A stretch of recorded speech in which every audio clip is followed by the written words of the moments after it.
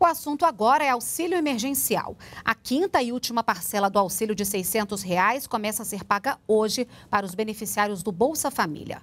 O calendário de pagamentos segue a ordem do dígito final do número de identificação social UNIS, como de costume.